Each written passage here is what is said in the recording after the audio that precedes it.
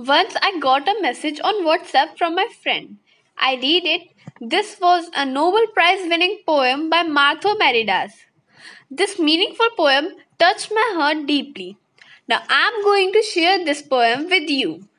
रह जाता कोई अर्थ नहीं नित जीवन के संघर्षों से जब टूट चुका हो अंतर्मन नित जीवन के संघर्षों से जब टूट चुका हो अंतर्मन, तब सुख के मिले समंदर का रह जाता कोई अर्थ नहीं, रह जाता कोई अर्थ नहीं। जब फ़सल सूख कर जल के बिन तिनका तिनका बन गिर जाए, जब फ़सल सूख कर जल के बिन तिनका तिनका बन गिर जाए, फिर होने वाली वर्षा का रह जाता कोई अर्थ नहीं, रह जाता कोई अर्थ नहीं। संबंध कोई भी हो लेकिन, संबंध कोई भी हो लेकिन यदि दुख में साथ न दे अपना, फिर सुख में उन संबंधों का रह जाता कोई अर्थ नहीं, रह जाता कोई अर्थ नहीं।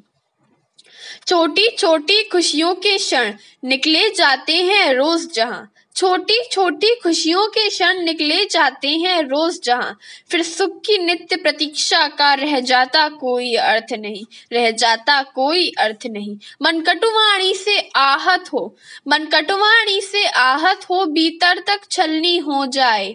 फिर बात कहे प्रिय वचनों का, रह जाता कोई अर्थ नहीं, रह जाता कोई अर्थ नहीं।